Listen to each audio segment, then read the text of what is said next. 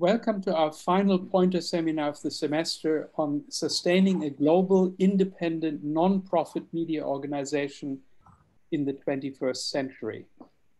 I'm Thomas Pogge, Director of the Yale Global Justice Program, one of the sponsoring organizations of this event, alongside the Yale Poynter Fellowship in Journalism, which has been supporting the visit to Yale this semester of our moderator, Khadija Sharife, as a Poynter Fellow.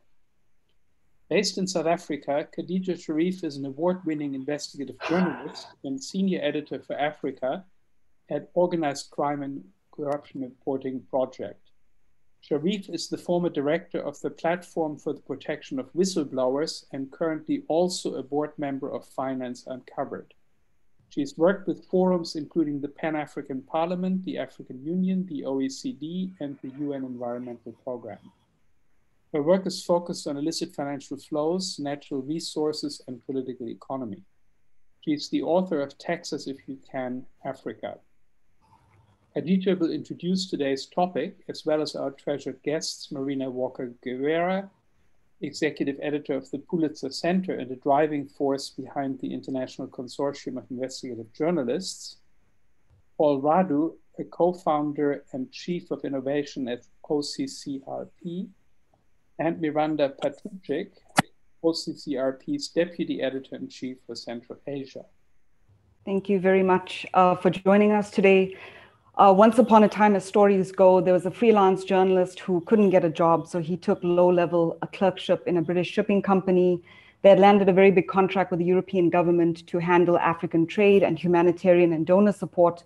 But as time goes by, this journalist uh, slash clerk begins to notice that the trade data going out of Europe shows a massive export of weapons and mercenaries uh, going to one particular African country. And it also shows a very lucrative import from that African countries of resources like timber, rubber, ivory, and live cargo that had a high mortality rate. So he notices that a lot of the times they're just throwing this live cargo overboard. And from there, it would go off in different directions.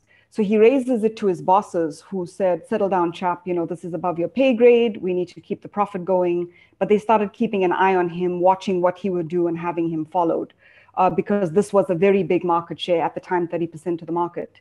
He couldn't get into it, the, the story that he had found this data into big media because a lot of the media finances and owners were patrons and philanthropists who also had skin in the trade game. So he created his own little thing called the West Africa Mail and as he was writing and slowly uncovering things, um, the people on the ground would make copies of it and they started circulating it. And people who worked within the system began to have their conscience triggered, including a civil servant who started sending him evidence. And from there, civil society, the human rights activists, parliamentarians took it up and began to make legislative change. That story sounds a lot like what happens today, but it's actually the story of King Leopold's brutal conquest of the Congo through his private company, the Congo Free State, where he held shares through 33 proxies, including his own personal doctor. There was the usual propaganda from Henry Morton Stanley. Today's version would be the Bell Pottingers, the story of slavery, wildlife poaching for ivory, and rubber for Europe's automobile revolution. There was also the element of private mercenaries, the force publique. So Leopold made a private fortune of over a billion dollars. The shipping companies that were private and legitimate corporations made a lot of money. Plantation owners traded their cotton, their sugar, and tobacco for slaves. And the banks who provided secret settlements and credits did the same. So that story is something that happens all the time today corporate predation, mercenaries, trafficking, shell companies. The rubber of old is now cobalt for the Congo's uh, massive supply that goes into renewable energy like um, Elon Musk's Tesla. So whenever we have a so-called progressive revolution, it might in fact rely on the old bloody ways. But there's also this other side, which was a resourceful journalist, sources who are triggered by the truth, and what happens when you put that truth on the record, the momentum that builds. But unlike the past, the journalist of today is almost that sounds like the white noise in my head. Unlike the past, the journalists of today are almost hunters in their own right. Instead of reacting, they anticipate, They've developed data and knowledge hubs that cross borders, that rival even that of intelligence agencies. They are very resilient. You can see that in the Forbidden Stories project. And much of this is due to the cross border collaboration between journalists rather than the usual competition of the Me First movement that puts the individual at the expense of society, which is the basis of capitalism and why all this bad stuff happens in the first place. So the architects of that brave and beautiful investigative journalism world are with us today. Our first speaker, let me just read this to get it right, is Marina Walker, the executive editor of the Pulitzer Center. For the past 14 years, she was largely at the helm of the International Consortium of Investigative Journalists, a network of global reporters in more than 90 countries she managed the two largest collaborations in journalism history, the Panama Papers and the Paradise Papers, which involved hundreds of journalists using technology to unravel stories of public interest from leaked financial data. She was instrumental in developing ICIJ's model of large scale media collaboration, which amplified their reach and impact. A native of Argentina, her investigations have won uh, more than 25 national and international awards, uh, including the Pulitzer Prize. After Marina's presentation, we'll go to a question and answer with Miranda Patrucic and Paul Radu. Miranda is the Deputy Editor-in-Chief for Central Asia. She most recently worked on the award-winning Plunder and Patronage in the Heart of Central Asia and the Matraimov Kingdom investigations.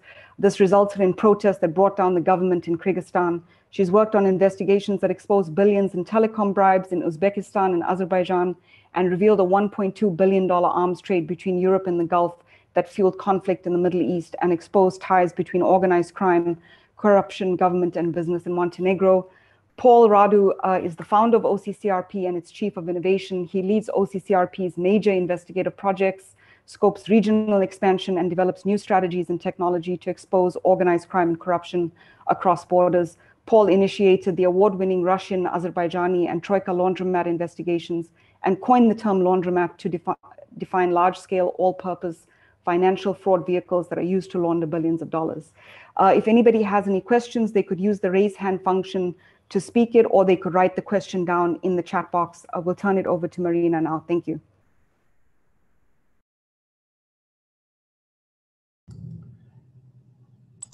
I did not unmute myself. Hello, everyone. I was just thanking everyone uh, for having me, for inviting me. I'm going to um, share my screen. So um, Please let me know if it is working. I hope it is. Okay. Um, so what I would like to do today is to um, share a little bit about how this um, brave new world of cross-border collaborative investigative journalism came to be uh, and what we learned along the way, what we're doing today. Um, first of all, I always like to start with the ode to the lone wolf and the lone wolf uh, we all have been, uh, I think that investigative journalists are uh, traditionally have been more wired to hoard and to work in isolation. We have been the ultimate lone wolves. And, um, and to be honest, the lone wolves uh, in the past did great service to journalism. And there are some stories that still might be suited for the lone wolf but uh, a, a, great deal of stories that we're facing today. And just think about this, you know, 1MDB, FIFA, Xinjiang, big banks. Uh, these stories are just too big, too global, too complex for any single journalist or single newsroom to really do justice to those stories. And so as a result of, of continuing to work in isolation, about 10 years ago, we um, in, you know, may have missed uh, parts of these stories. We may have overlapped with each other uh, and not really do the, the job that we could have done. So we realized that and we decided to change. We decided uh, to see um, in each other collaborators rather than competitors. And, and that, that was like a very uh, um, paradigmatic uh, change in the profession of, of journalism. Um, and um, um, we decided we wanted to um, really be a match to the forces that we are set to investigate. And we wanted also uh, in that strength be able to um, to do better stories, to do stories that can uh, sustain the attacks that we are seeing today, that can sustain the uh, you know in the face of misinformation campaigns, in this in the face of libelous uh, lawsuits, and in the face of uh, coordinated attacks and physical attacks on journalists. Um, that's how the OCCRP network came about. That's how the ICIJ network came about when we decided to uh, build on this journalistic solidarity that really hadn't existed before. Um, that whole premise is built on trust, trust that is not easy to gain, that can be lost also very easily, um, uh, a trust that we have one another's back and that uh, we share radically across borders. And when I say when I say radically, I mean like the entire Panama Papers uh, leak is shared radically with hundreds of reporters around the world, and, and we'll uh, talk about this uh, in a second. It, it's a recognition that uh, there are stories like the ones that we saw before that really transcend us, transcend our individual newsrooms, transcend uh, countries and are uh, part of the common interest or the public interest. And we journalists need to be able to recognize when that is the case and do and adopt a methodology uh, that allow us to treat those stories as, as a common good uh, of public interest. And it is always in the public interest to have diverse uh, journalists uh, collaborating with deep local knowledge. Corruption is always first local. And then together uh, building that bigger global narrative together following the money across borders uh, and revealing that global truth. Um, I would uh, like to touch on the issues of whistleblowers, not only as journalists starting to create this journalistic um, solidarity, we were fortunate that uh, whistleblowers, brave whistleblowers around the world noticed this trend and realized um, that this was, this was uh, efficient for them, that maybe they could leak to a particular journalist or a media organization that was part of a network, and then uh, that information will be treated uh, as uh, by the network and will be jointly published and therefore have the possibility of having much greater impact. So before Panama Papers, we had offshore leaks, we had Luxembourg leaks and Swiss leaks, and they were all driven by whistleblowers who saw this emerging trend and decided to trust journalists uh, and, and decided that this information uh, would benefit from that journalistic filter. Um, the, uh, you know, so journalists together working uh, in conjunction around the, around the world. Um, but uh, at the time, many, many times, especially in the, in the beginning of these big leaks, uh, we felt like this. We felt like uh, um, we did not have uh, initially all the technology and, uh, the, and the methodology that, that would allow us to do justice to this data. Um, and we had to um, um, invent that technology, not that we um, uh, build everything from scratch, but just find smart ways to put technology at the service of, of investigative journalism. Um, and that is something that Paul and Miranda will, uh, will talk about because OCCRP has done a wonderful uh, job that, as Khadija said, really matches the technology of the intelligence services, I think, uh, but is, uh, is done for the public good. Um, so uh, at ICIJ, where I worked for many years, uh, we um, use open source technology. We adjusted to the needs of journalists and basically um, create, created a knowledge center that allowed us to process, to index uh, these millions of documents that we were getting from whistleblowers and make them available to journalists around the world. The idea being that in, with each leak thinking, uh, you know, can we put this uh, on online basically in a secure platform? Uh, because we were um, convinced that the best way to investigate together is for each journalist in each location to have access to the entirety of the documents and to be able from uh, their own computer to access the information, to, to filter the information, to, um, to search, uh, uh, to extract entities, to you know um, um, use this technology powered by machine learning to be able to um, to focus on what journalists uh, in these investigations, if we go to the very basics, focus on people, organizations, and locations, and start building those connections. Uh, that uh, also was um, an opportunity for journalists to collaborate with other professions and disciplines, something that also we hadn't done uh, very well in the past. So we started in integrating engineers, uh, data specialists, uh, and more in our newsroom so they could uh, bring their um, expertise and skills and make us better journalists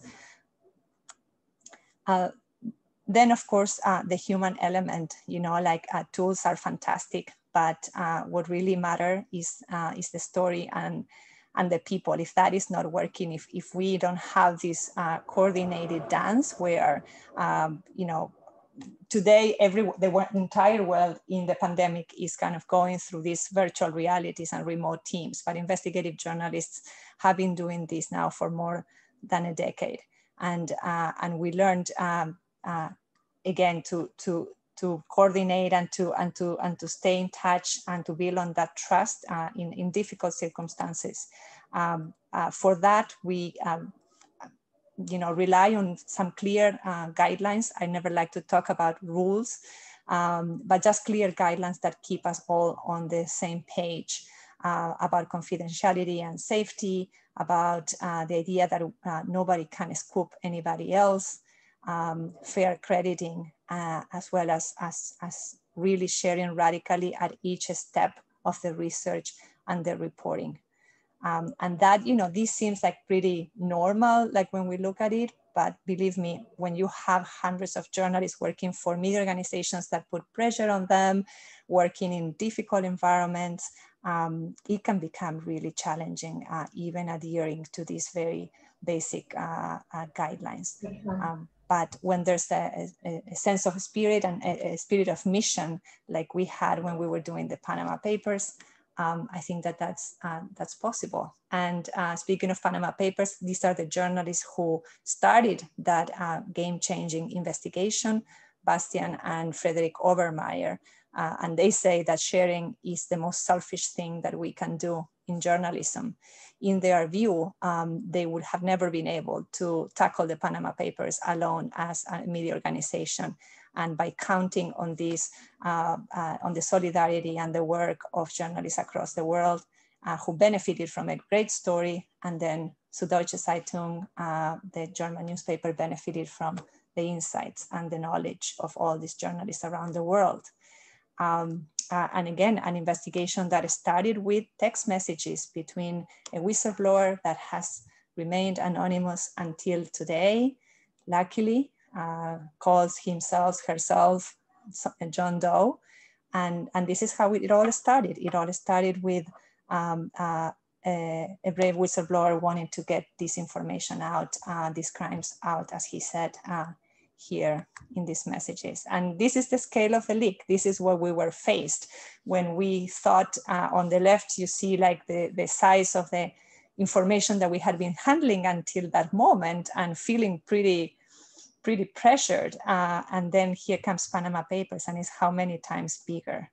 Uh, so it really, um, it was really helpful to have been practicing for the past several years uh, with the smaller links. We felt like we had the trust was strong at that point. The technology was uh, was pretty good, and then we just needed to scale. And Panama Papers gave us that that uh, that fuel and gave us uh, uh that push to really scale and to show that uh, that cross-border collaboration can be truly global.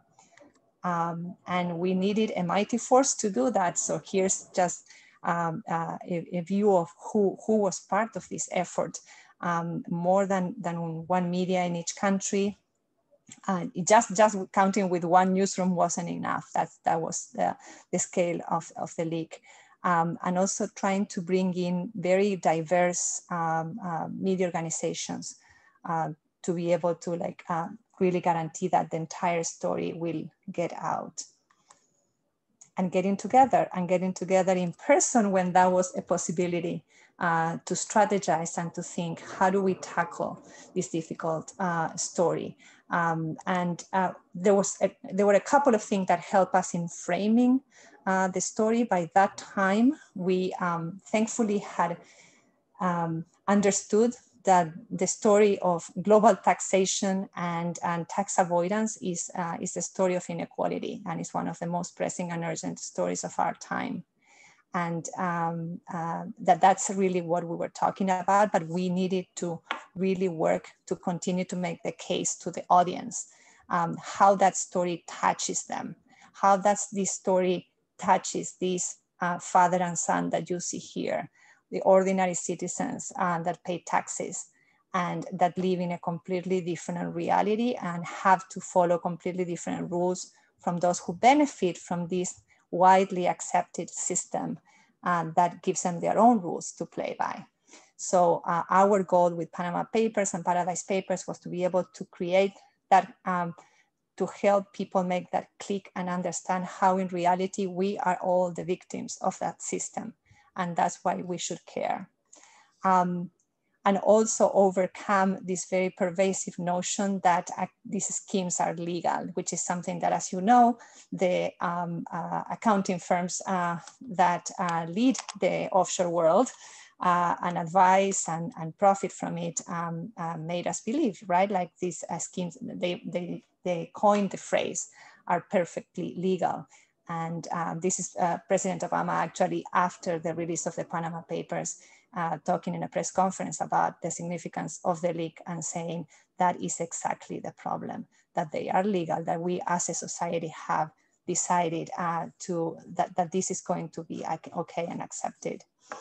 Um, and that gave us also um, uh, the, the fuel, having done all of the previous leaks, to be better advocates in our own newsrooms, because even editors sometimes were telling us, why should we be um, uh, investigating this? Why should we be writing these stories if these activities are legal? And by that time, by the time of Panama Papers, I think it was much more widely accepted that precisely because they are legal and outrageous and immoral is because we need to investigate them. Uh, that is a system that is designed on purpose to be legal. Um, people also, um, we felt that um, they did make that, uh, that click. And after the Panama Papers published, we saw a huge uproar, as you remember, and you can see it here. This is Iceland. Um, the prime minister there, I, I don't think that uh, what we found about him was an incredibly criminal, what he had done but uh, but uh, but the lack of transparency um, and the, the deceit uh, was enough uh, for people to feel outraged, uh, especially after the economic crisis that hit Iceland so so um, heavily, and decided that you need uh, to go out. It's like the standards had really um, come up; they had been raised. There, there was a, a bar that had been raised. And uh, we saw that in the reaction uh, to this story and what came after that. Um, and also people realizing, uh, making that, uh, that click and realizing that uh, seeing themselves in the stories uh, and, and realizing how, um, how they were victims in this big global scheme. Um, um, this figure has increased, you know, so these investigations and I'm sure that Miranda and Paul will talk a little bit about this and have been good for uh, government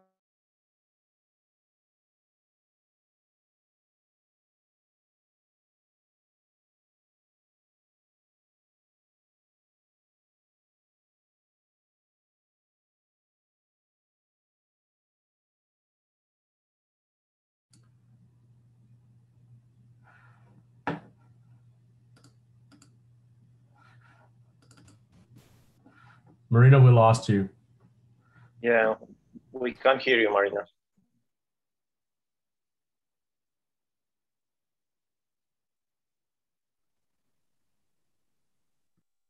So she got disconnected. Yeah, Marina mentioned that uh, they have a strong winds and that maybe she will, um, she might be disconnected at some point. Let's hope she can come back. Uh, Miranda, could I ask you a question while Marina is trying to reconnect? You're one of the best, if not the best, forensic financial journalist in the world. How did you, or rather, why did you make a transition from the business world to the investigative journalism world? What have been some of your most difficult stories to do? And uh, what kind, what do you think that journalists need to study in order to understand the world of, of uh, financial numbers and financial crime? Um, yeah, thank you. And thank you for having me here. So my expertise at the moment is working in Central Asia and Azerbaijan. Um, so those are countries that are, you know, run by dictators, um, country where there's no access, access to records to journalists or, um, you know, other groups for that matter. Uh, those are countries where um, uh, those are countries that are extremely rich, yet a, a large portion of population uh, is very poor. Um, and in a way, um, the people who are leading those countries are acting with full impunity. But what was what is really amazing, and it's especially because of the uh, global financial economy, uh, global financial environment, in a way, it allows them to steal money, but it also allows us to be able to report about the corruption and embezzlement and, and about um, crimes that are taking place in those countries. And the way we are able to report about them is because of the uh, financial records we are able to obtain abroad. So um, over the past of um, last decade, actually, I've been my primarily job was reporting about every other country in the world except my own country.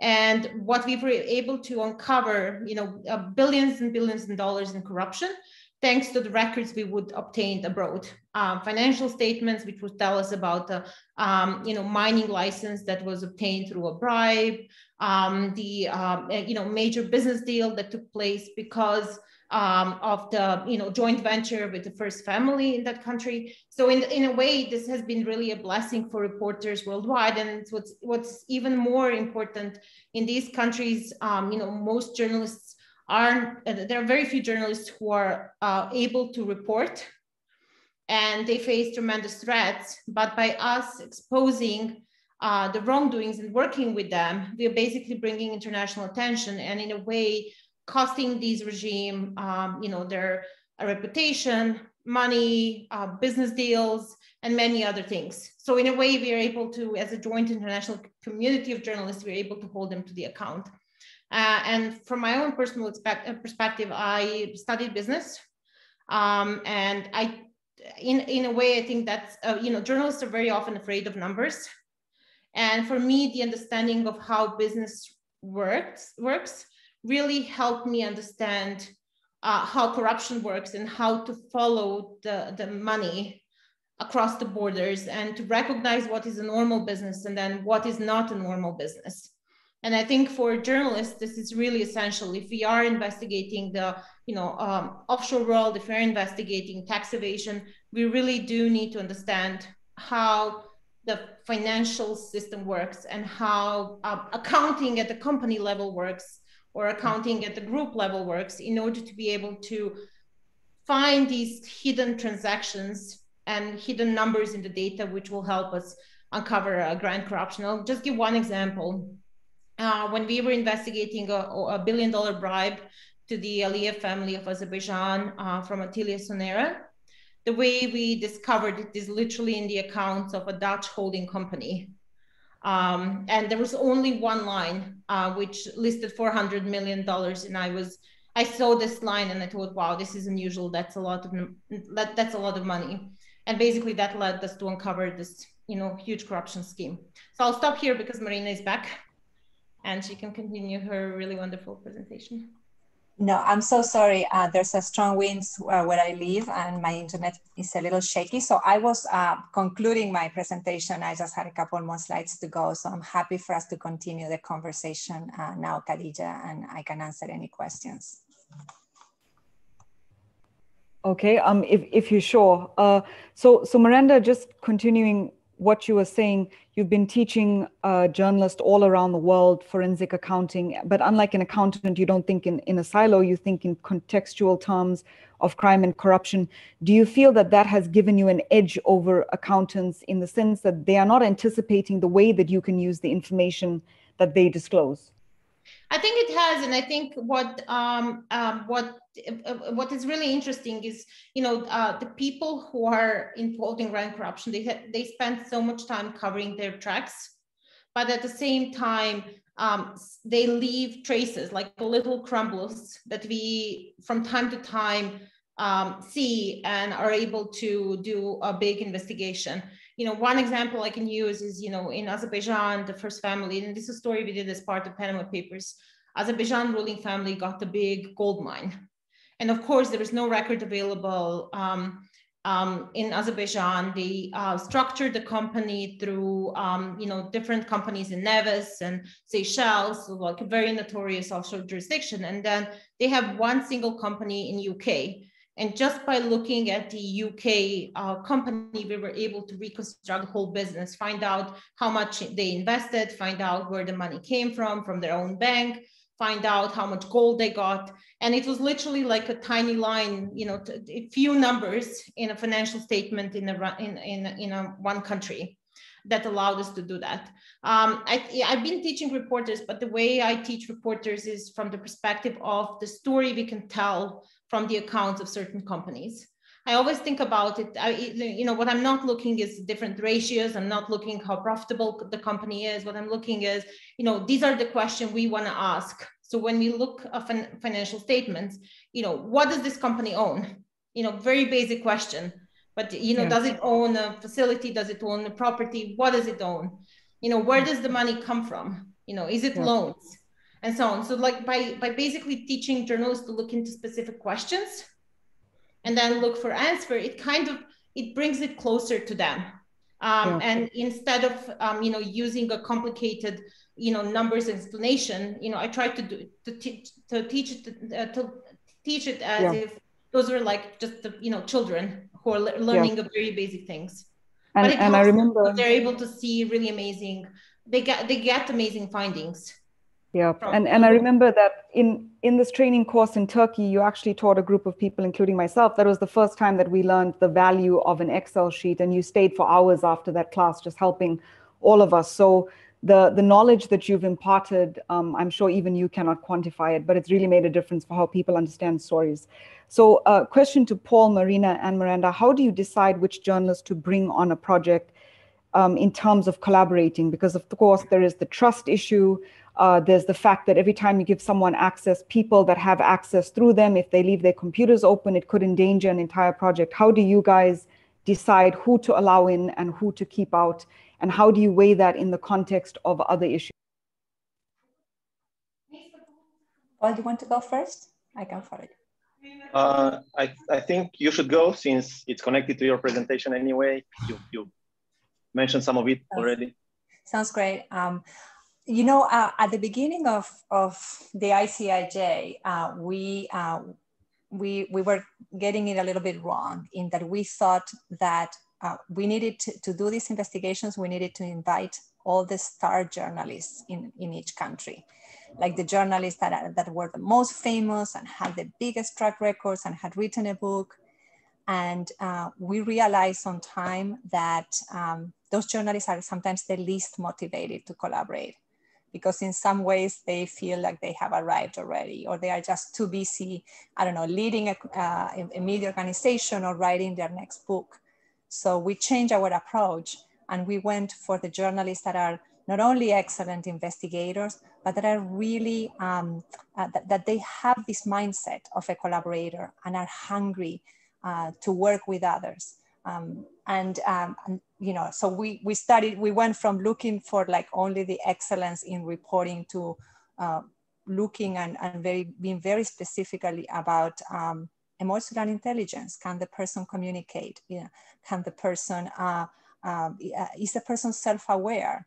um, is, is the person going to be able to function uh, in a team without putting others down? Will, will, will, somebody be able to go and, and do work and obtain records uh, or do analysis that is not going to benefit uh, her or his own story, but might, might benefit the work of other colleagues? Um, so that, that was a game-changing decision. Uh, it allowed us to uh, be um, much more inclusive and, and diverse uh, in the teams that we build and uh, it, it, just injected so much more energy uh, into these collaborations. So I think that that, that was a, that's a big part um, of um, how we go about uh, yeah, involving. Not everybody has, not everybody's built to be a collaborator. And I, I am grateful to some journalists that in the past have told me, you know what, um, I'd rather continue working on my own. That's how I have always done it. I respect that. Um, collaboration is, is hard, you know, and life is short and so let's pick our partners really, really well so we can do all this like really hard work without having to deal with a lot of drama um, uh, in the process. Yeah. Um, so if I may, um, just step back a bit. Um, if you remember the, the image that uh, Marina presented with the lone wolf, you know, that was a stage in investigative reporting. And then you have the gathering of fishes, you know, that, you know, kind of face the shark. Uh, this is like the, the, the, second phase. It's, it's where we are right now. You know, we're dealing with more and more data and we're trying, you know, to coalesce, you know, a, a lot more. But the reality is that um, that image, you know, with the shark and the, the, the lots of fish that coalesced is just a fragment of the whole image because there are so many sharks out there in the oceans, in the oceans that are not tackled by any of this group of fish. So the reality of the thing is we are very few, you know. So when you when you try to you know mount these big corporations, you know it's it's always with this um, sense of humility that you're tackling just part of the problem and for that part of the problem, you got to find the right people. Yeah, as uh, Marina said, you know, you got to find people who are ready to cooperate, people who, you know, have the right set of skills like Miranda, you know, to be able to read a financial record, to put things in context. You, you have to have storytellers as well and all this. So this is always, always kind of, kind of hard to assemble.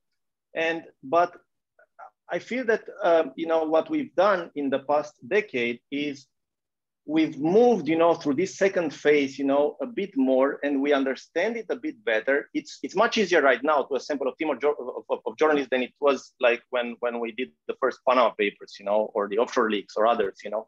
It's it's it's a lot easier because we have the technology. We know people who are willing, you know, to work uh, in this way. Uh, and also, I think one big big win for these projects is that you know they they inspired people. They inspired other journalists, you know, who are aiming right now to participate in this type of projects. So this is, you know, the group is growing. You know, that uh, gathering of fishes, that school of fishes, you know, it's it's it's it's growing. It's growing. It's still not enough. You know, so it's it will become harder and harder because the public notices. You know, it's like if you look at the war on drugs. You know, the war on drugs. You know, this summer is going to be like 50 years since it started at first, people had very few knowledge, um, very little knowledge about what was going on, and they thought, well, this is a good idea. You know, we're going to fight drugs. We're going to, you know, stop all, all this scourge. It turns out, you know, in 50 years, you know, we've done almost nothing, but there are lots of resources used and all that. So this is where we need to move with the journalism. We need to realize, you know, that this is a good model for now, but we do need to go somewhere else. You know, we, we do need to leverage more technology. We do need to inspire a lot more people. And ultimately, you know, we do need to dissolve investigative reporting into the larger society to be efficient. Which is something, Paul, that you, you all have done very well. Maybe you can talk a little bit about that. Uh, uh, the collaboration with other disciplines. So not just journalists collaborating with one another, but how do we collaborate with lawyers? How do we collaborate with advocates? How do we collaborate uh, with accountants? Uh, we don't have all the skills and all the tools that is needed to match uh, the forces we are investigating.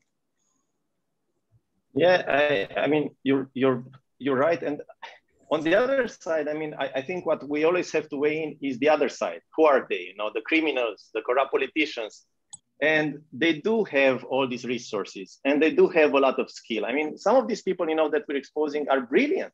You know, they could have been like amazing in doing good they just, chose, a, you know, like these other sort of path.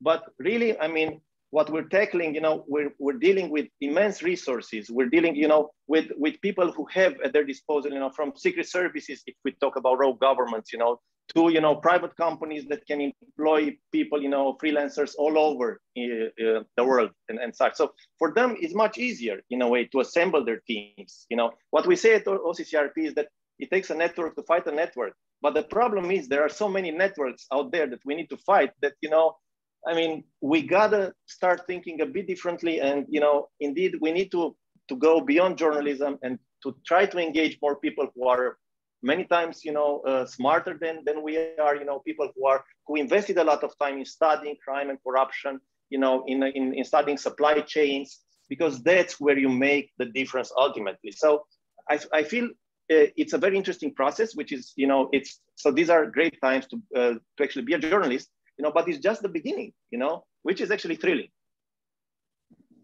I just want to mention one more thing, which is about um, you know creating a new generation, especially in the in the places where it's increasingly difficult to work. You know, Central Asia is one example. We now see that it's becoming extremely difficult to be a journalist in Russia, and you know these journalists face not just a you know possible arrest, uh, their families get harassed. You know, sometimes they get killed. I mean, there's like so much pressure on the journalists and um, I wanted to, in a way, give a credit, but also um, to talk a little bit about our effort to basically bring, uh, you know, new reporters from ground up. And you know, one sad thing is these reporters don't have their names on the stories, but they're like a silent force which are being, you know, which are being grown in their own countries. And they're, you know, pa passing the passion and skills that they're learning from working with international colleagues to other reporters in those countries. And this is all happening in a way behind the scenes and people don't see it as happening, but there are stories coming out which are originally, you know, created by the reporters from these countries. And are, those are strong investigations where with the major findings. And I think that's that's a great thing because, you know, in, in five years, we will not need so many foreign reporters to report like about Azerbaijan because we will have amazing reporter in Azerbaijan doing exactly, you know, strong stories that will catch international attention. And I think this is like, this is really important for us, which, which have been uh, part of collaborations for so long to basically leave the legacy and create this new generation, which will take over and do even stronger journalism than we ever possibly can. Yeah. Um, so, so just a quick question. If people are even-handedly treating uh, leaks and scoops or stories that come their way, for example, by focusing on Lula's Labour Party, you kind of see the setup that it was a way to bring the Bolsonaro government in. How do you guys choose the big stories and leaks that you focus on? Are there some leaks that you will turn away by saying the consequence of exposing this will be much greater if another side comes into power? How do you fix on the leaks or the, the projects that you focus on?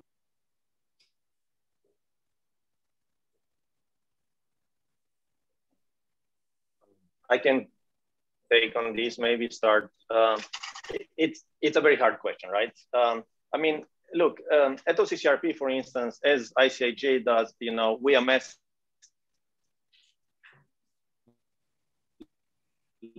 large, vast amounts of data, you know, many, many terabytes of data and from, you know, all over the world and, and such.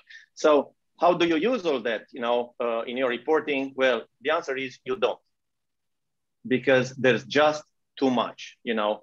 So what we've tried, uh, the way we've tried to do things at OCCRP in order to be efficient and to serve the public in a proper way without being uh, too much influenced, you know, by outside forces, is that we build up on our reporting.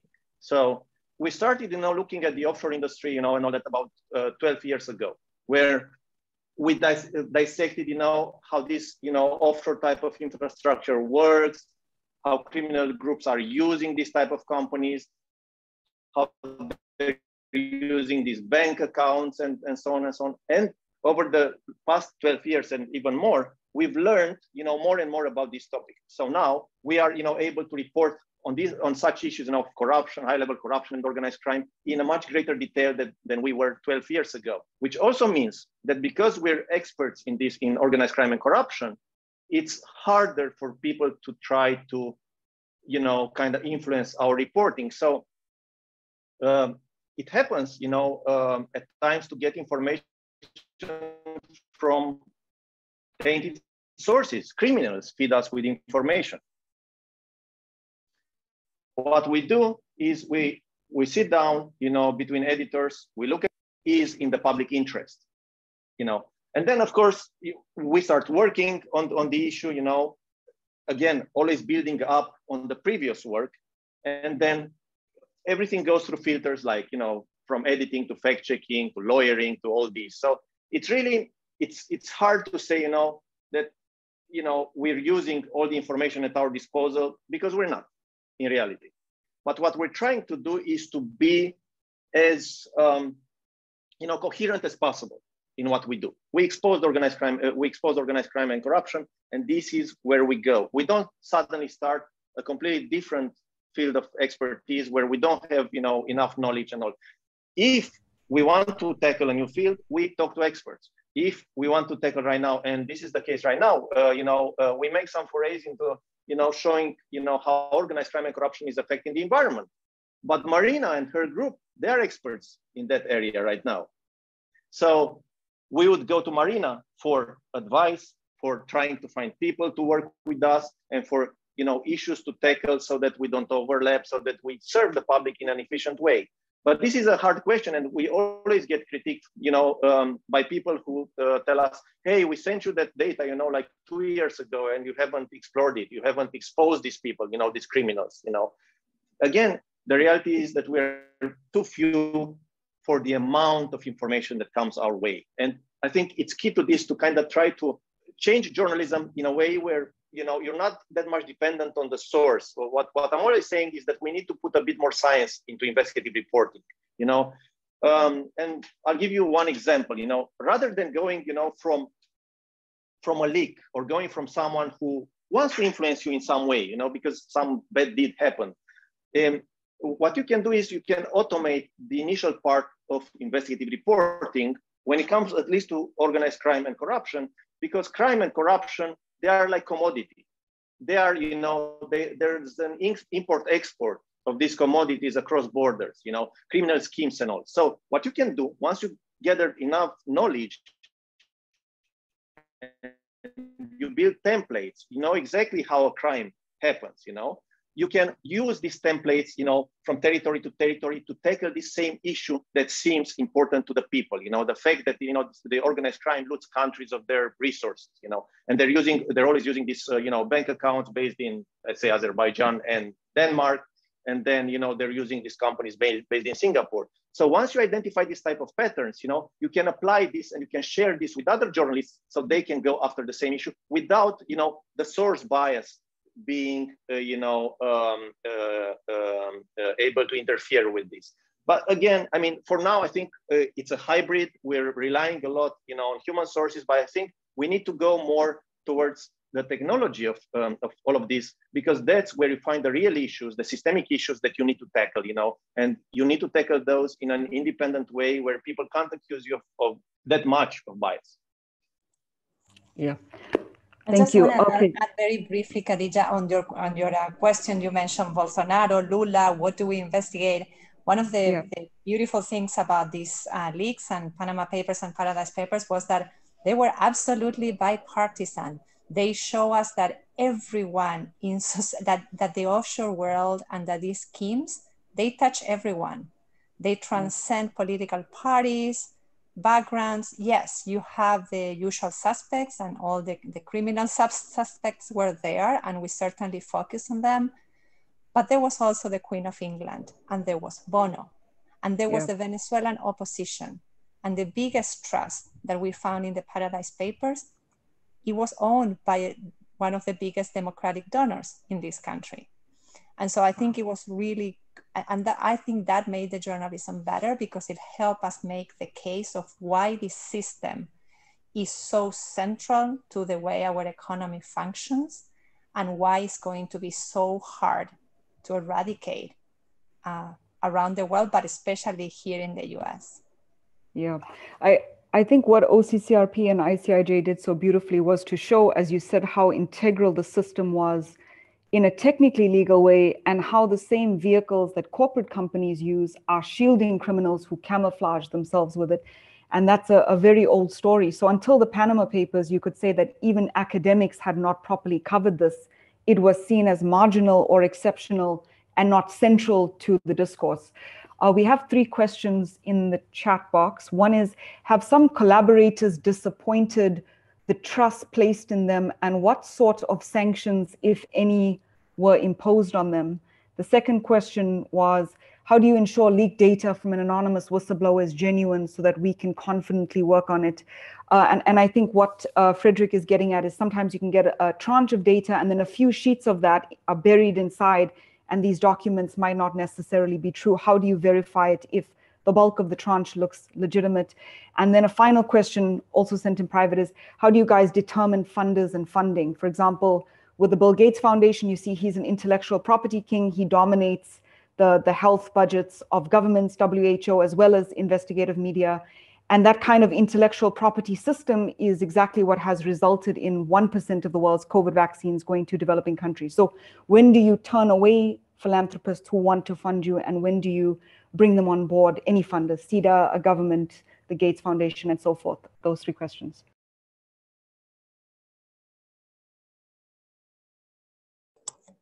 I can go. I can answer quickly. Like, how do you um, uh, how do you deal when uh, with issues of trust? I think the important thing is to to prevent that from happening, as we said, by having very clear guidelines, by having by over communicating and uh, and making sure that there are no uh, people in the in these collaborations that are just observing or taking and not being full collaborators.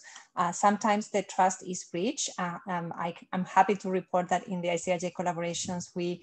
Um, over the years achieve a you know high level of success uh, and had like really minimum disruptions and uh, when trust was breached, um, what we did is immediately remove that person from the collaboration and never collaborate with that person again.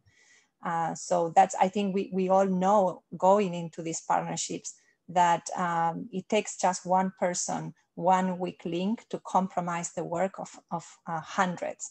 And, and to compromise journalism, because if the Panama Papers had failed, if we had uh, exposed the, the whistleblowers, if we, you know, it, it would have been terrible for, for the future of journalism. I think everybody had that kind of sense of responsibility, and we kept reminding them and reminding them and reminding them uh, about the importance of confidentiality and the importance of being on the same page.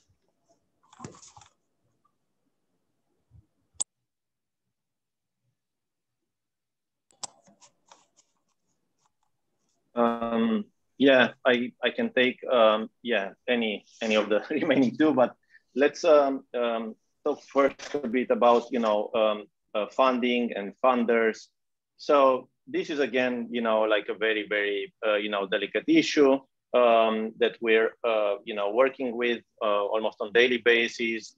Uh, there are you know from you know very very dubious you know uh, bankers from from Russia, let's say you know trying to to sponsor us to finance us to you know um, NGOs and foundations. Uh, some of you know some are you know based in Western Europe, in the US, and and such. These funders, um, and um, if there are serious issues that, um, especially that affect the field, the field of journalism, and for us, you know, what's really important is for the funder not to get, uh, you know, not to interfere with our work, you know, not to inter interfere with uh, what what we cover, how we cover things, you know. So we want, you know, complete independence because we're only working for the public. We're not working for the uh, uh, for for the funder. Um, so this is, you know, something that you know you grow these relationships over time with uh, uh, many of these uh, of these funders um, to the tune that you know what we what we make as an argument even with with funders that sometimes don't really like us you know is that you know, they ultimately gain from what we're doing. You know, um, Marina was showing how much money was recovered by governments as a result of Panama Papers. You know, um, as a result of our reporting at OCCRP, you know, lots of governments around the world, you know, um, recovered, you know, many billions. You know, and that's you know with a puny budget. So investigative reporting pays off. It pays off big to the society. This is what uh, you know the argument that we're making with all these funders and if they're not happy with their work, you know, um, they can uh, cease funding us uh, and all. But the contracts that we draft always, you know, mention that we are editorially independent, that we should be allowed to do proper work in the public interest. So this is how we shield ourselves from, you know, the interests of the funders and, and all that. Now, this can always, you know, lead, you know, uh, to many, many other ways. You know, if you have funders that maybe have their private investments that are not good in some way, you know, for the society. And, you know, uh, you mentioned Bill Gates and, and, and, and all, you know, uh, it's always difficult. It's always difficult. And we always have, you know, arguments and we, we always have discussions. But journalism, investigative reporting in general is underfunded. You know, we are very few and very much underfunded as well. So and we also, you know, again, don't take money from parties who want to fund us, who are, you know, there's lots of criminals and lots of other people with very shady interests.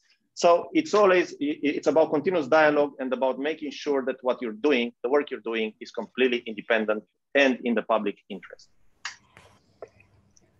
Can I just okay, add concretely uh, on that point, do you accept money from governments? And if so, uh, which governments have you accepted money from and how has that gone?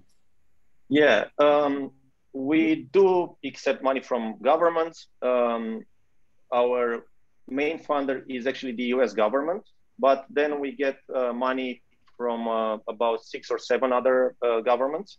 Um, what we've done for the past six, seven years is we diversified quite a lot in our funding. We're trying to, you know, move as much as possible from government funding, you know, um, and go more for private foundations. Um, one of our, you know, like one of the private foundations that uh, funds us uh, since the beginning actually is the Open Society Foundation. So where you also have all these these issues when it comes to, um, you know, uh, to attacks, uh, you know, um, on OCCRP. And so, but be it Open Society, be it the you know the Swedish government, Sida is, is uh, uh, sponsoring us. You know this is the it's is the Swedish uh, government equivalent of the USAID, um, and uh, other governments. We always make it clear, you know, we are an independent uh, uh, investigative reporting organization. We'll work in the public interest, and that's it. So they don't have any say in our um, editorial decision and where we go. And what we do is we let our work speak for itself. We put our donors, you know, uh, on our webpage so that you know we're transparent about that, and we let our work speak for itself. How, how do you guys handle running a leak or a story that you know will result in a lawsuit? I think OCCRP has won many lawsuits. Uh, ICIJ, we had Hervé Falciani uh, on this Poynter session, and he, of course, was talking about how the Swiss government hounded him.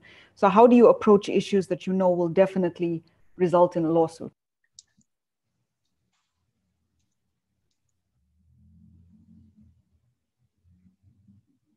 Go ahead, Paul. Oh, okay. Um, so yeah, we've um, uh, we've had lawsuits. We we do have lawsuits. You know, we're sued quite frequently. We are um, um defended by great lawyers too. This is a, a big component uh, with OCCRP. We have um, um, you know, a group of lawyers who work with us. Um, and we do lawyer our stories as well. We fact check, we learn them. So we're trying to put, you know, um, uh, when we put out stories, we try to have them in the best shape possible. We don't put stories out if we have doubts, if something is not, you know, uh, uh, proven. Um, regardless, you know, you you get sued because some of these people want to save face, you know, they want to harass you. They want to stop you from working. There's, uh, there are all these uh, uh, lawsuits called SLAPPs, you know, where people just um, sue you, you know, in uh, various jurisdictions, like, you know, in London, just to make you pay a lot of money uh, with your defense. I was, you know, until uh, last year, I was um, sued, in, sued in London by an um, oligarch from Azerbaijan who worked with the, with the government there, who was also a member of the parliament. And it took lots of money to defend, you know, ourselves in uh, in London, and uh, we're uh, we're actually facing right now, you know, I think about four lawsuits, you know, and this is this always comes down to the cooperation that we have with with the lawyers. When you're sued, the best weapon that you have as an investigative reporter is the truth on your side and your investigative capacity you know. So what you start doing when you're in court is you investigate some more you know, so that you present even more facts than you presented in the original stories with the court, because that's how you win these cases. You got to have the truth on your side, and you, ha- uh, you have to have lawyers who understand not only media and investigative reporting, but understand how, you know, politicians and businessmen, you know, who are involved in various nefarious things, you know, work together. You know, they need to, to, to understand how these PR companies work in favor of oligarchs and in favor of criminals. So it's really about uh, creating this um, cohesive team between investigative reporters and the lawyers that defend them in court And I've seen too many times, you know, lawyers who uh, just try to go to court and win the cases on technicalities. And that's, well, it's, it's how lawyers do things, you know, lots of times. But for investigative reporters, it's really best to win cases on truth. So the, the truth defense is the best.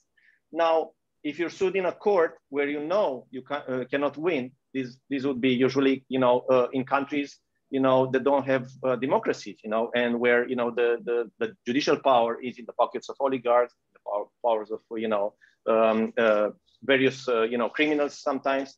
That's, you know, somewhere where uh, you just know that you lose and you accept that and you just don't go there, you know, because, you know, you put yourself in, in danger.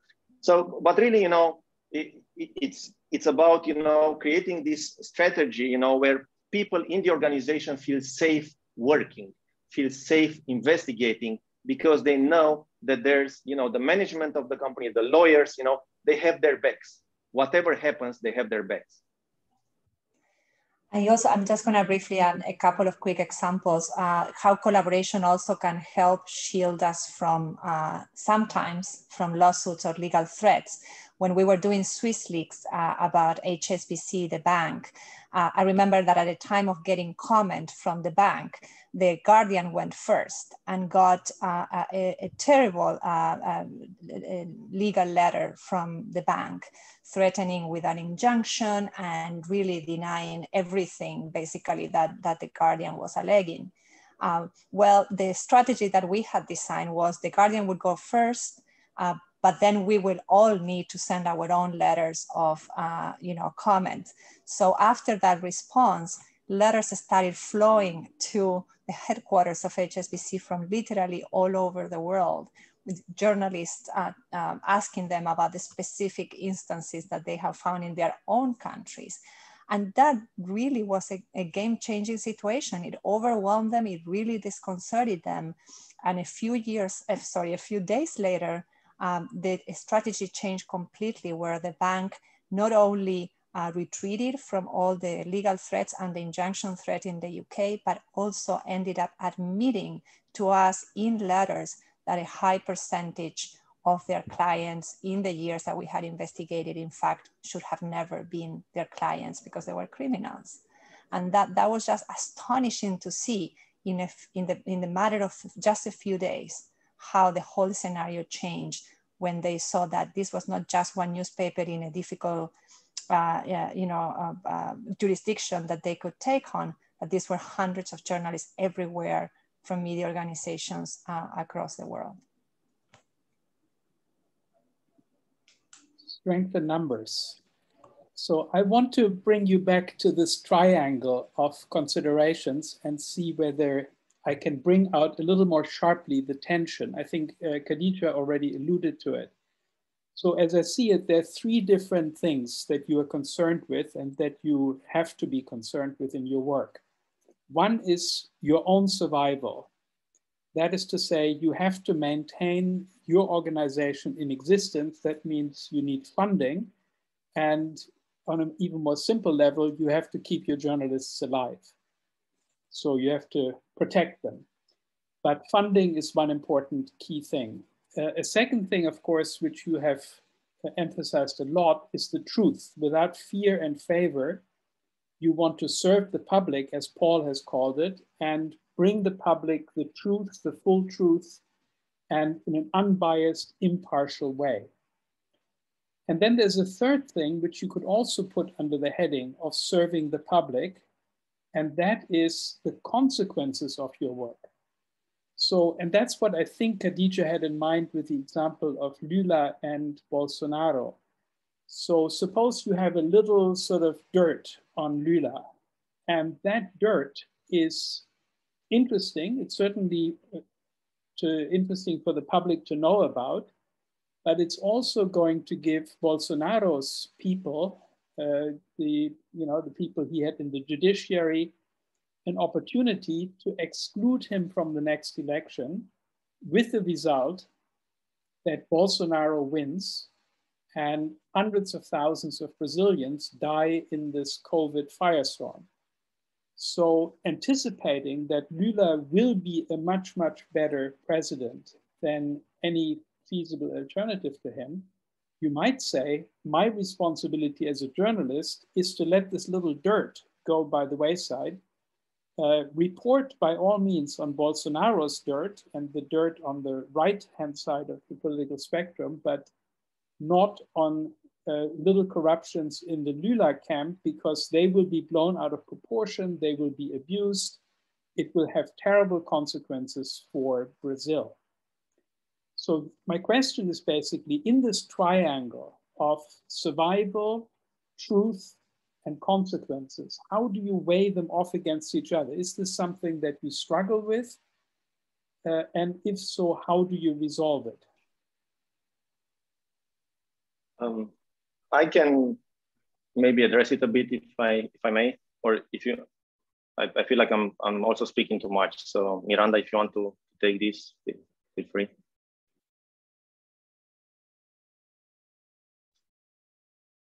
Go ahead, Paul, and then later I'll give example of uh, uh, being responsible for revolution and that revolution not uh, being for the good of people in the end. So I'll, but first you start. um, okay, um, I mean, if you look at, um, you know, Lava Jato and, you know, all these um, uh, scandals that have um, rocked Brazil, you know, for the past, you know, uh, years, um, I think you kind of see an, um, an underlining theme there, and that's that unfortunately, most of the information that was uh, presented to the public in Brazil, not all of it, um, you know, some journalists did, uh, did amazing work, uh, but a lot of it uh, was fed by the law enforcement. Uh, prosecutors, you know, who leaked information to journalists and, uh, and such. And I think that's where the problem is. You know, um, and it's not just Brazil. In many uh, countries, actually, uh, in mostly in mainstream kind of traditional media outlets, let's say, the investigative reporting is perceived as you know having good sources with the law enforcement, but that is that is just lazy. That is laziness. So when you're talking about this triangle, if you don't have enough work, investigative work, to determine the truth and to determine the gray areas as well, that's where you get into this type of you know um, outcome that's you know not very good. Now, as we'll we'll hear from Miranda, there are things that you can't control. You know, you work in the public interest. You you you you get some uh, a bit of information. You start investigating it. It pans out. You know that you know that's that's truthful information, and you publish it and then you really lose control of, how that information is going to be used you know by the public by the politicians by various. This is why I, I think you know we we gotta change you know again I, and i can't stress this enough. We gotta change how investigative reporting is done. We gotta put more science in it and we gotta go for much higher you know systemic kind of kind of problems to investigate them properly. Not just say i'm going to investigate you know the finance world you know but to actually understand it and to understand, you know, how Lula and Bolsonaro are using the same system. You know, this is why at, at OCCRP, we're doing a lot of these infrastructure type of investigations. And because this infrastructure is what serves everybody. This is where, you know, where the real problems are. And it, it, it doesn't matter if people are called Bolsonaro or Lula, you know, they are expressions of a system you know, and that's what's best to investigate. But even if you investigate like that, you know, ultimately there's another layer and another layer and another layer. You know, you know, you've the national layer, you have the regional, you have the international. You know, uh, an investigation into the leadership of uh, Iran and showing how corrupt they are. Maybe it will trigger something in Iran, but will that be good for you know the fact that the U.S. was just about to close a treaty, you know, peace treaty with with with Iran. You know, there's there's lots of questions that are outside of you know the power of, of of journalism. You know, so what we do need to do is to feed you know solid information that people can use. You know, the citizens can use in their decision making. That's that's all we can do. But that doesn't mean we can solve the problems of the world. So, you know. I, I, so for the past two years, we did a lot of reporting in Kyrgyzstan. And what was really interesting about it, you know, we started with a story about, um, you know, custom scheme, which, which deprived the country of uh, $700 million. But then in the processes we were reporting it, our source was killed. Um, our reporters had threat. We were forced to publish the story very quickly. And then the moment we published, uh, people took the streets and they were protesting. And um, I mean, the scenes were incredible. I mean, people were speaking out against the grand corruption, but nothing happened. You know, we kept reporting and then just before election and not on purpose, but it, you know, our stories were ready. We published a story about one of the, the guy who was responsible, who was running the big um, scheme and his in, the customs and he was responsible for the looting of the state and you know his family became extremely rich. So we published this story and um, day after re- revolution stories were uh, people were so angry because the political party backed by this powerful figure we exposed basically uh, used vote buying and some other techniques to basically win the second second place in the election. And it literally led to revolution and you know we were watching the scenes of you know them like going across the wall of the pres- you know the presidential uh, building destroying server images you know the president like disappeared. Um, and then what happened one of the guys who was actually in jail um, you know was allowed to go you know he was allowed to walk free. And literally by next day the, the, the state was captured by him. He became like the new you know leader of the country and you know this was something we could never have seen. You could never have influenced. Um, you know now he just changed the constitution to give himself more power than any president in kyrgyzstan ever had. And they had three revolutions so far overthrowing the presidents um, and all we did and and this is something that you know for as long as I'm, I'm being a journalist the question we always ask ourselves is does public need to know this and no matter what other arguments are, you know, is our reporter in danger? Yes, we'll deal with this. Um, you know, is our source in danger? Yes, we will deal with this. But does public need to know? And they have been like so many situations. I mean, I remember just before we published that story, one of the sources to us came and said, please don't publish, you know, I'm in danger. And we had a very, very long, uh, this was a days long discussion, you know, thinking whether, you know, we don't publish and we ultimately decided we do need to publish because you know we know what's the truth and we owe it to public to know. And i think that's kind of been really like you know um, our guiding thought. You know we, um, uh, we, you guys were talking about funding and whether you, we get the us government funding. And i remember a couple years ago we were doing this big investigation about arms arms mail uh, arm sales from Eastern Europe um, to uh, Middle East, basically, which were ending up in Syria and fueling the conflict in Syria. And one of the things, you know, we were funded by USAID, which is US government. And one of our big story was two, $2.2 billion, you know, pipeline financed by US, you know, selling arms and, you know, bringing arms to Syria. I mean, that's what our story was. And, you know, we never thought about, you know, who is funding us or, you know, should we or do we dare to publish the story? Our goal was, we, this is what we've seen taking place. And we felt this was something that, you know, public needs to know. And that really has been always the guiding force. You know, just a question, you know, does public need to know? I mean, it's as simple as that in the end. And being careful to write, to not try to be um, sucked into events or political events. Uh, we got a lot of grief in Argentina, my country of origin, uh, during the Panama Papers because the president-elect Macri was in the Panama Papers.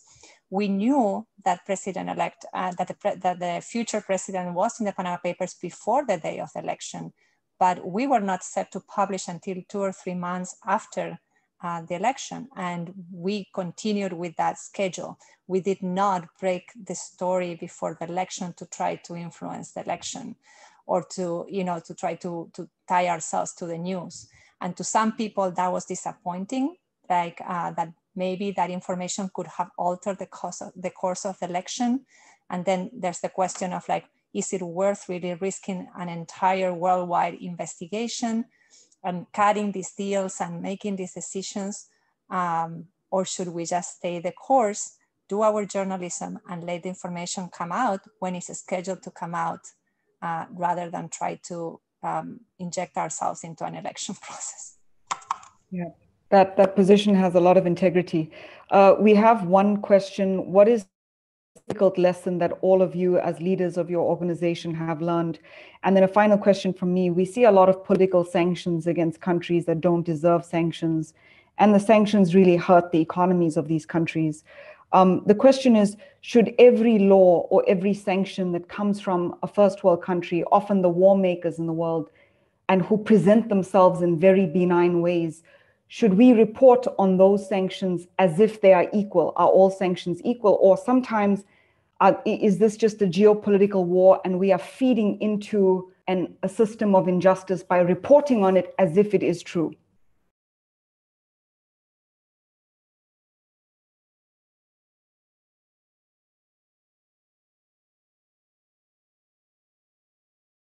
Okay, I, I guess it's, it's my turn again then.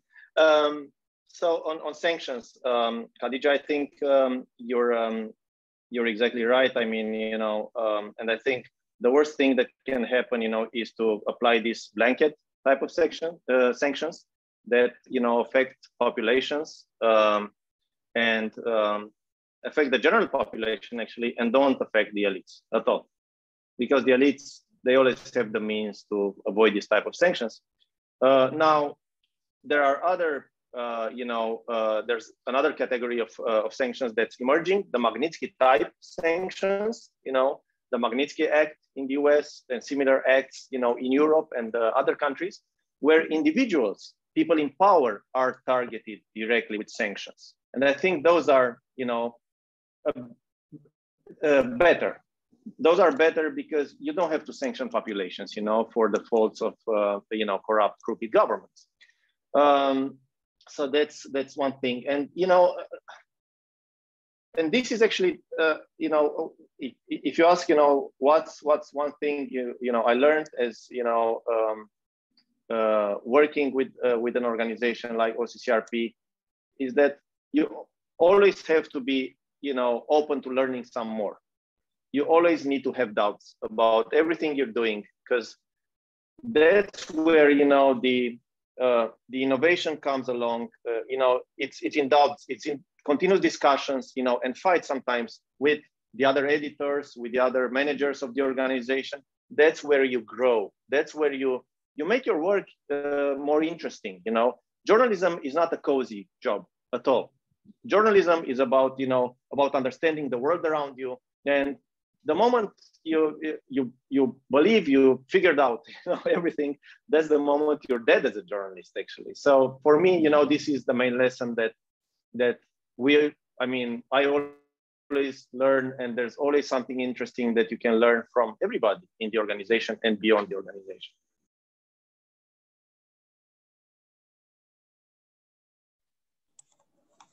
Um, uh, in terms of, uh, of lessons, I don't know if it is a lesson, but something that has been incredibly rewarding to see is that um, until not, not long ago, maybe 10 or 12 years ago, the field of investigative journalism was, was even smaller, much, much smaller than it is today.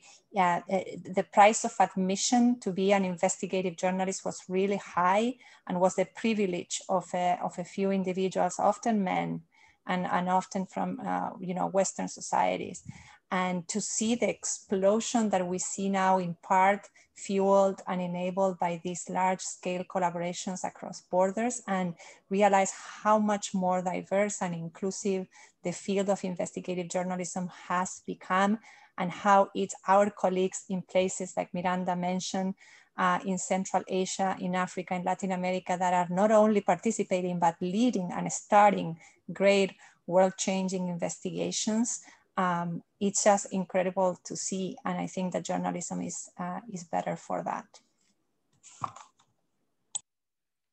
So I still have a small footnote question, if I may, and that concerns the funding. Uh, how much of your funding comes from governments and how much from the US in particular? Do you have a rough idea? Uh, you're asking me specifically? Both yeah, okay. organizations. So at the Pulitzer Center, so just very briefly, the Pulitzer Center is an organi- is a hybrid organization supporting journalism around the world, including giving financial grants to journalists uh, to report stories, as well as an education organization connecting uh, newsrooms and classrooms.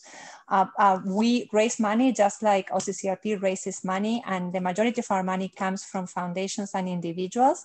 But at this moment, we are receiving money from the Norwegian government for our uh, environmental work, which is uh, building a network of investigative reporters focusing on the environment, corruption, and tropical rainforests around the world and we have the same kind of firewall that Paul uh, mentioned. Uh, one other thing that I would mention is that in some cases we have managed to convince funders to instead of giving us money that would go directly to reporting, give us money that would go to the endowment of the, uh, the Pulitzer Center so we can sustain the Pulitzer Center for the future. And that was the case with Facebook. Uh, some journalists would be maybe wary of receiving, um, uh, knowing that their grant uh, is paid for by Facebook. And so what we did is um, Facebook did a significant donation for our endowment. And in perpetuity, every year we draw interest from that endowment and we devote it specifically to support local news in the US, enterprise projects and on news uh, in the US from that Facebook uh, donation.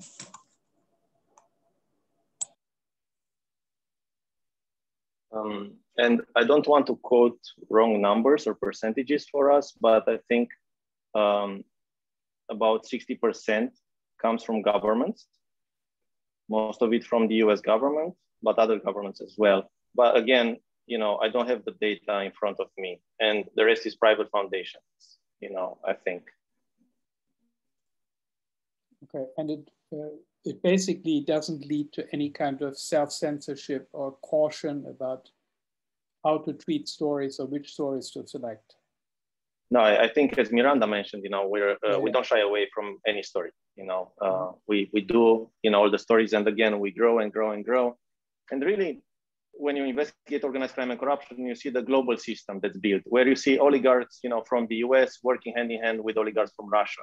It's is this layer that's not a national, it's a supranational layer, you know, that we're investigating, and that's where the big money is and the big problems for democracy are, and and, and all this. And this this is where where we are, you know, investigating and working hard.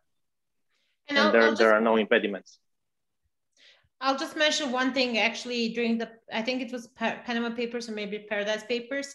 We also don't shy away from investigating our own.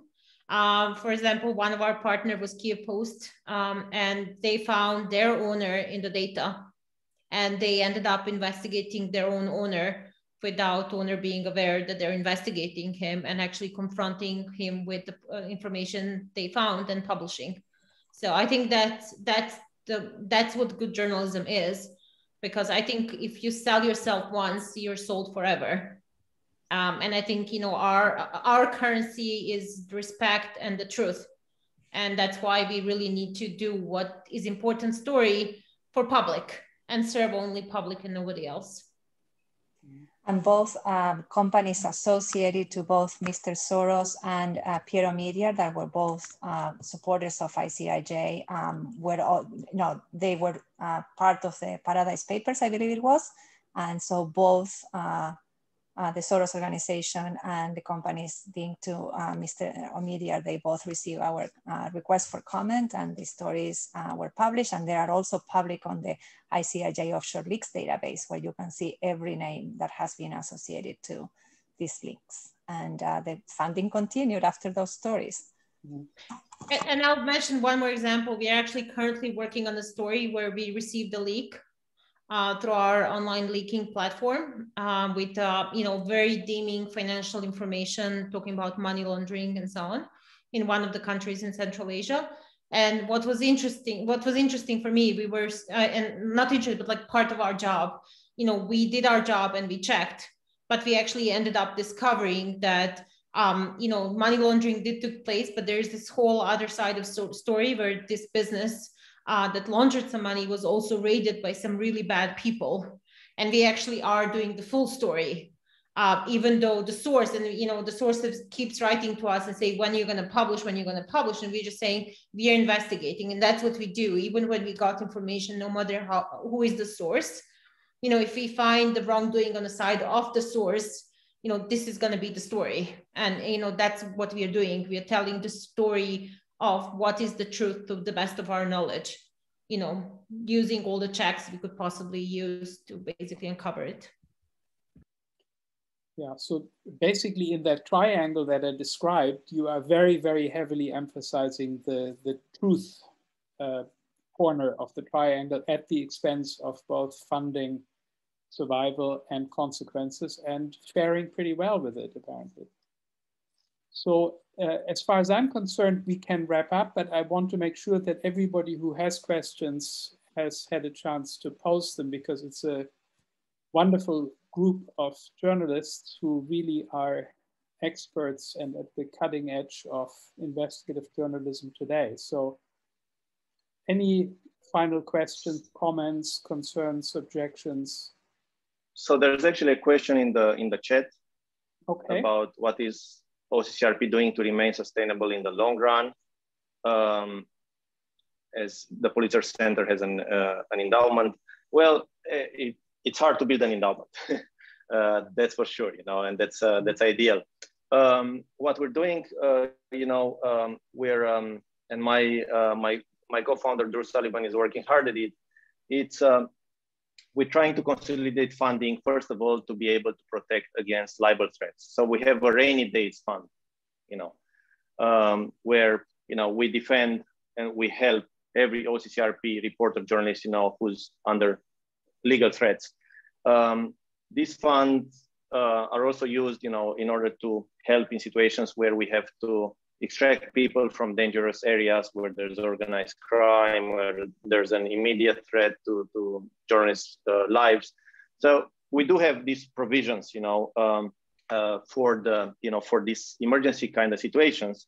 And we work with many other organizations to put together an um, insurance pool for investigative reporters. There are efforts, you know, along those lines where we need to make this job a bit more secure than it is right now.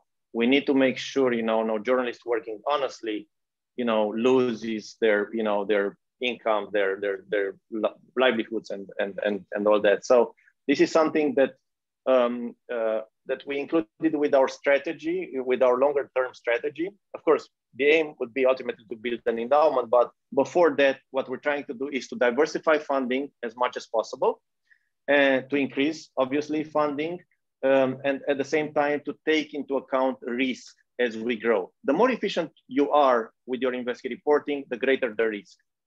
The greater sums of money you have to have at your disposal to defend yourself against these risks, against legally, physically, lots of times. You, you have to provide, for instance, people with secure doors, you know, and systems, you know, to, to feel secure at home and in the office. These are big, big expenses, you know, and we take this into account as, as, as we grow. This is a primary concern for us to ensure the security of our people, and because this is how you ensure the security of the, of the organization. And this, this is how you keep on serving the public.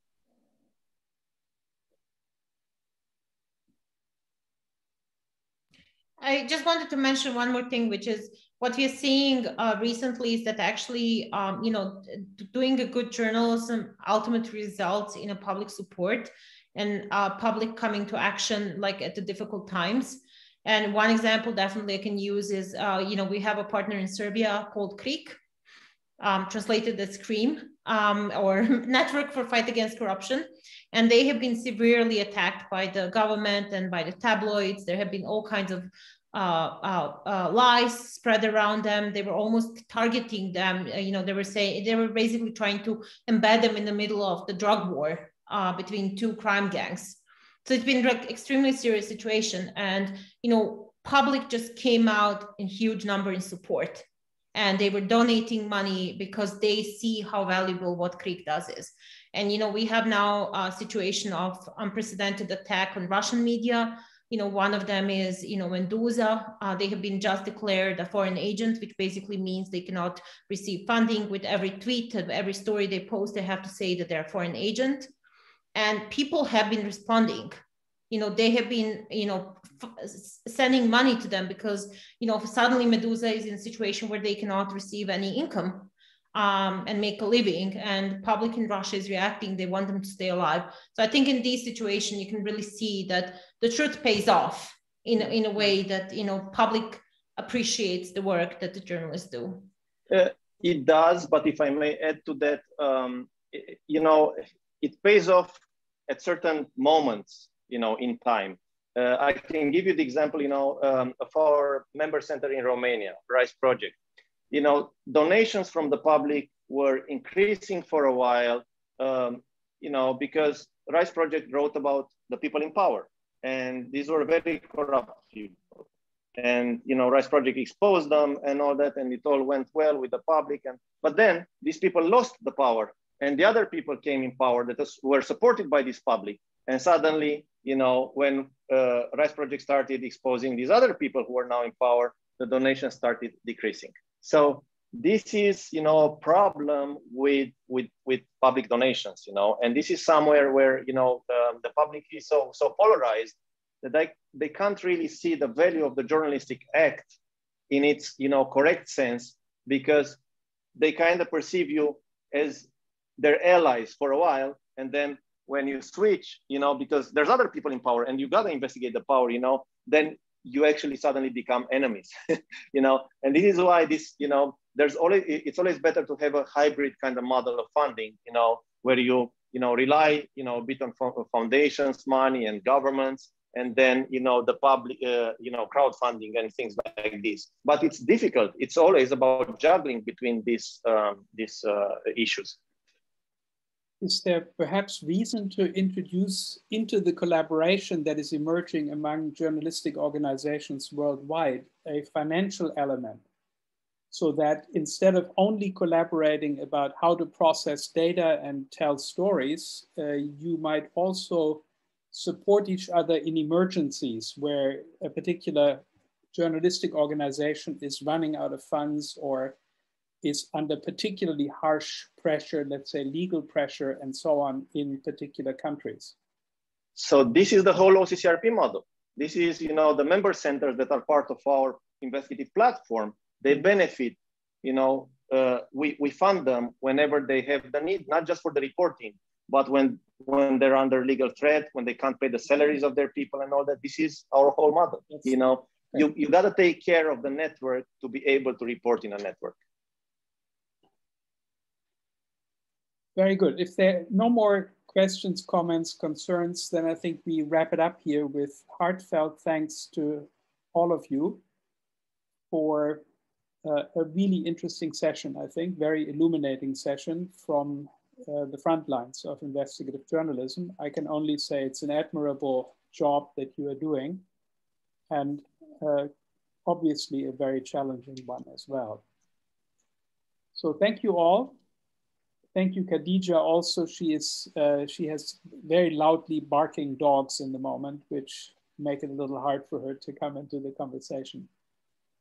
And uh, see you all perhaps on Tuesday at 3.30. Goodbye. Thank you. Thank you. Goodbye. Thank you for having me. just watch dogs. Yeah. Thank you very much for the invitation. Goodbye.